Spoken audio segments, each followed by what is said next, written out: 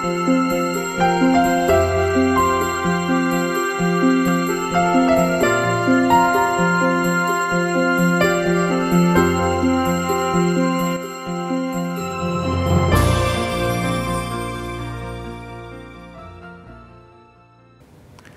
की चर्चा का विषय है पण्य विनिमय केंद्रों का परिचय।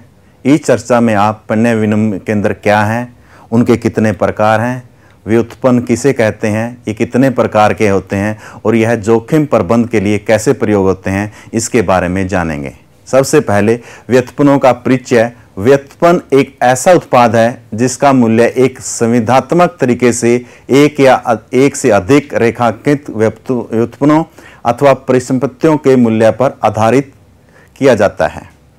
उदाहरण के लिए मैं एक कागज़ को प्रदर्शित करता हूँ जो जिसका मूल्य इस बात पर निर्भर करता है, जो एक हज़ार डॉलर्स को प्रदर्शित करता है तो इसे व्युत्पन्न कहेंगे, इसका मूल्य एक हज़ार डॉलर की कीमत पर निर्भर करता है। यह कागज़ किसी परिसंपत्ति को, किसी फोरेक्स एक्सचेंज को, किसी कॉमोडिटी को प्रदर्शित कर सकता है, इसे व्युत्पन्न कहेंगे। व्युत्पन्न का अपना कोई मूल्य नहीं होता, यह किस वस्तुओं को, किस संपत्ति को प्रदर्शित करता है, उसके मूल्य पर निर्भर करता है।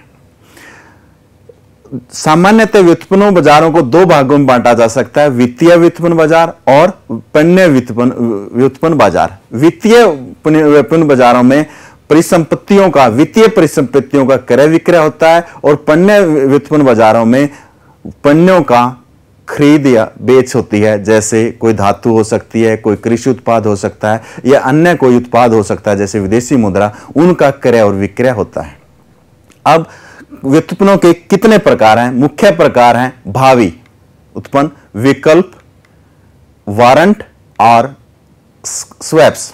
भावी इसके अंतर्गत, इस व्युत्पन्न के अंतर्गत आज के दिन हम क्रय विक्रय का एक सुविधा तैयार करते हैं जो भविष्य में जिसका जिसका मूल्य निर्धारण किया जाएगा और उसके जो अंतर का, या तो उसका सुपुर्दगी की जाएगी सामान की, या उसके अंतर की जो पेमेंट है उसको लिया या दिया जाता है उसे भावी व्युत्पन्न कहते हैं। ये दो तरह के होते हैं। ए, एक होता है फॉरवर्ड जो फॉरवर्ड फॉरवर्ड ट्रांजेक्शन होता है जिसके अंदर जो प्राइवेट रूप से दो क्रेताओं और विक्रेताओं के बीच में है। एक एक होता अग्रिम सुविधा जो एक बाज़ार द्वारा विनियमित नियमों के अनुसार किया जाता है उसे आप अग्रिम सुविधा कहते हैं।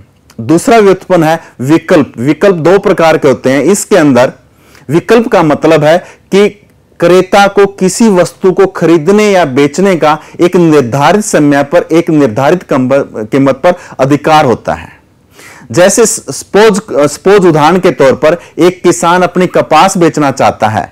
उसको यह अधिकार है, वो इस कीमत पर कभी भी एक निश्चित समय तक उसको बेच सकता है, इसे हम विकल्प कहेंगे। ये दो प्रकार का होता है, एक कोल्स और एक पुट्स कोल्स के अंदर क्रेता को, विकल्प के क्रेता को, किसी संपत्ति को, किसी पण्य को, किसी विदेशी मुद्रा को एक निर्धारित कीमत पर, एक निर्धारित समय तक खरीदने का अधिकार होता है और पुट्स के अंदर एक विक्रेता, एक पुट्स के क्रेता को, उस संपत्ति को या उस मुद्रा को या किसी कॉमोडिटी को बेचने का अधिकार होता है।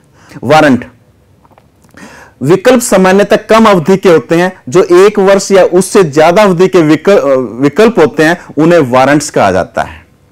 स्वैप्स इसके अंतर्गत दो संपत्तियों के नगद प्रवाह को आपस में विनिमय किया जाता है और यह पूरी तरह से प्राइवेट होता है, इसको स्वैप्स कहते हैं। व्यापार के लिए उपलब्ध उपकरण.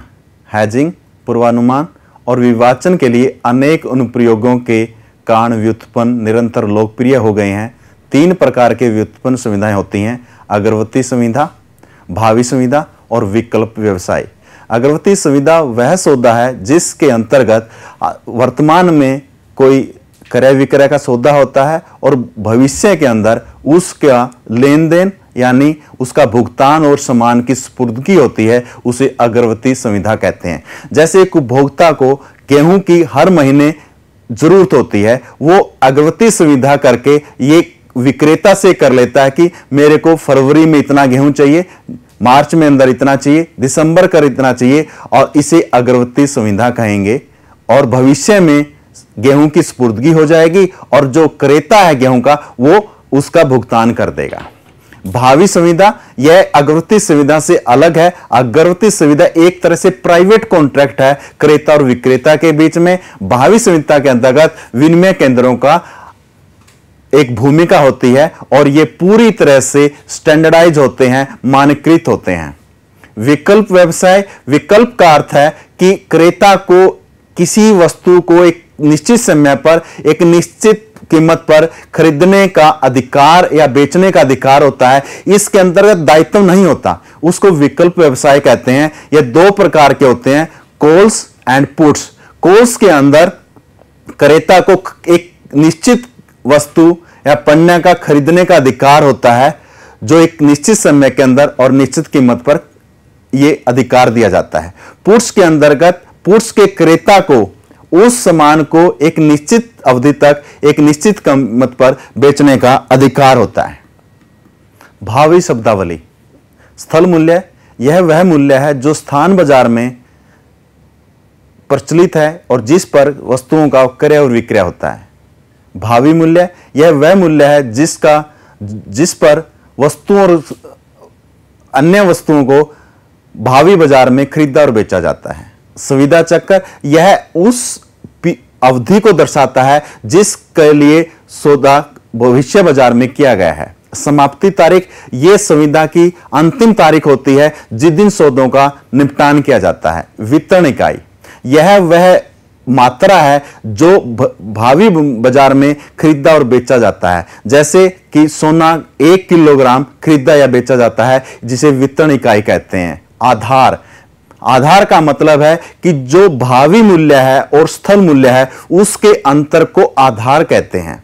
सामान्यतः यह पॉजिटिव होता है, यानी भावी मूल्य स्थल मूल्य से ज़्यादा होता है। कॉस्ट ऑफ़ कैरी जैसे सथल मूल्य और भावी मूल्य में अंतर है, भावी मूल्य सथल मूल्य से ज़्यादा होता है, इसे कॉस्ट ऑफ़ कैरी कहते हैं, क्योंकि एक आज के दिन कोई वस्तु खरीदते हैं और एक भविष्य में खरीदते हैं। यदि हम आज के दिन खरीदते हैं, उसको हमें उस पर उसको उसको स्टोर करना पड़ेगा, उस पर पूंजी पर ब्याज देना पड़ेगा। इस, जब हम भविष्य में उसको खरीदते हैं तो इन कोस्टों को हम जोड़ लेते हैं, जिसे कॉस्ट ऑफ़ कैरी कहते हैं। प्रारंभिक गुंजाइश, जब भी कोई क्रेता और विक्रेता भावी बाज़ार में सौदा करता है, उसको सौदा करने से पहले कुछ गुंजाइश, जिसको मार्जिन कहते हैं, जमा करवाना होता है, उसके बाद ही उसका सौदा वैध होता है। बाज़ार से बाज़ार, जैसा कि हम जानते हैं कि बाज़ार में कीमतें हर दिन बदलती रहती हैं। तो आज जो सौदा हुआ शाम तक उसके कारण, जो बाज़ार के कारण उस मूल्य में परिवर्तन हुआ, उसको हम समायोजित कहते हैं और उसके बराबर क्रेता या विक्रेता को अगले दिन गुंजाइश देनी होता है, इसलिए इसको बाज़ार से बाज़ार कहते हैं।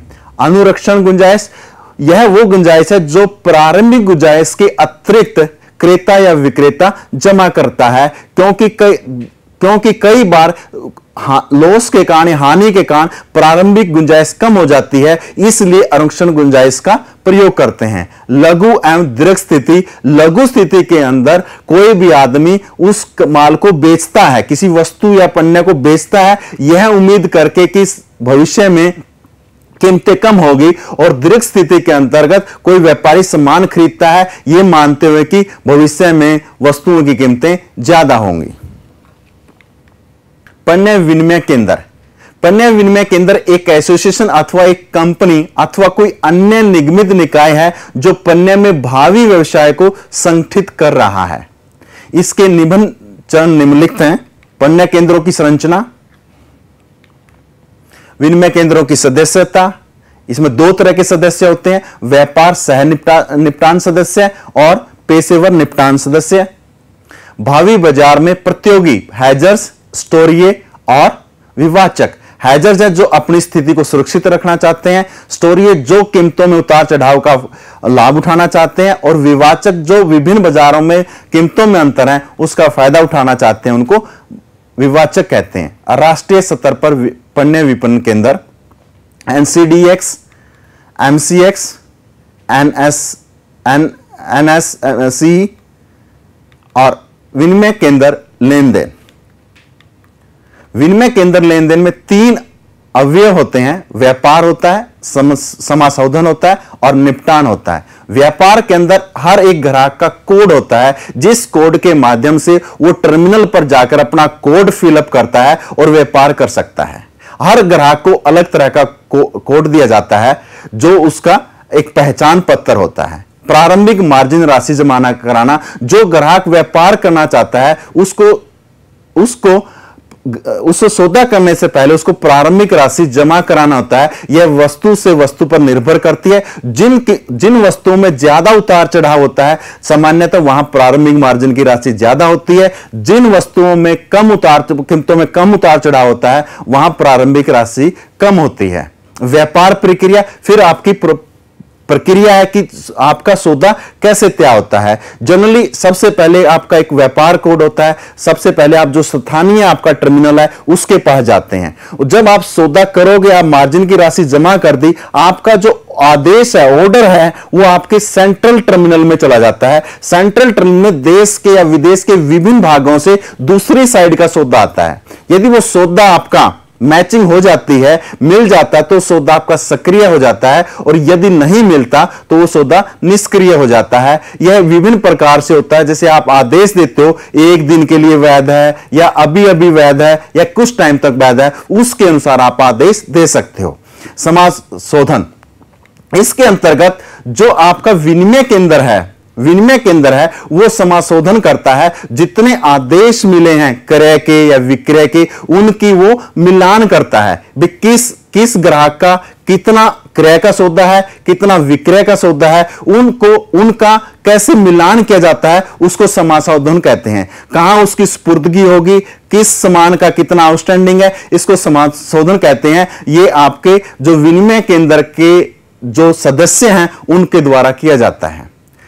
तीसरा है निपटान, ये अंतिम क्रिया है विनिमय लेन देन की। इसके अंतर्गत आपको, यदि आपने सामान खरीदा है तो आपको उसकी भुगतान किया जाता है और और उसकी आपकी सुपुर्दगी मिल जाती है। यदि सामान के विक्रेता हो आप, आपको आपको उसकी राशि मिल जाएगी और आपको सामान उसको देना है। ये आपका अंतिम चरण है। विनिमय जो विनिमय केंद्र है इनमें विभिन्न प्रकार के प्रतिभागी होते हैं। जैसे आपके हैजर्स हैं। हैजर्स का मतलब है जैसे किसान के पास गेहूँ है, वो अपनी गेहूँ को ये है कि कीमतें कम होगी, वो भावी बाज़ार में बेच सकता है और अपने जो जोखिम है उसको कम कर सकता है। एक व्यापारी है जो व्यापार करता है और उससे ये ये ये ये ये डर है कि कीमतें कम ना हो जाए, उसको हैजिंग कर सकता है। उदाहरण के तौर पर एक जो सुनार है, सोने का काम करता है, उसने कोई जेवरात का आदेश ले लिया तो वो ये कर सकता है कि जितना उसने जेवरात का आदेश लिया है ऑर्डर लिया है, उतना ही सोना वो भावी बाज़ार में बेच दे। यदि कीमतें कम होती है सोने की, उसको जो आदेश लिया, उस पर नुकसान होगा और जो भविष्य में उसने बेचा है, उस पर फ़ायदा होगा। उसका जो नुकसान और फ़ायदा है, वो बराबर हो जाता है। तो जो मेन चीज़ है उसके लिए उसके लिए है कि जो गोल्ड है, उसको जेवरात में बदलना, उसका वो जो परिश्रमिक है या मेहताना है, वो उसके पास होगा।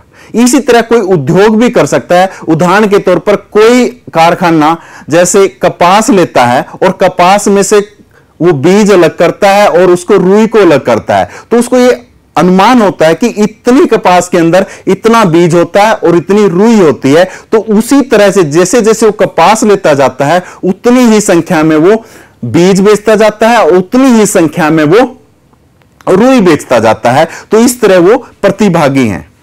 और कुछ स्टोरिये होते हैं जिनका कि, जिनका केवल कीमतों में उतार चढ़ाव का से फ़ायदा उठाना होता है। वो इसलिए करते हैं विनिमय केंद्रों के अंदर काम, क्योंकि इसके अंतर्गत जो जो राशि चाहिए, वो कम चाहिए, क्योंकि केवल गुंजाइश राशि देनी होती है, पूरी राशि नहीं देनी होती।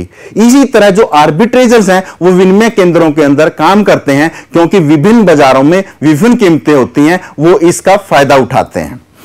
तो सारांश में हम कह सकते हैं कि जो विनिमय केंद्र हैं, यहाँ पर विभिन्न प्रकार के व्युत्पन्नों का क्रय और विक्रय होता है।